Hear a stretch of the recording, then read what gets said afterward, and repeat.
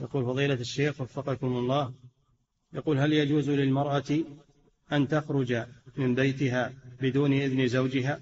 لا حرام عليها أن تخرج من بيتها بغير إذن زوجها.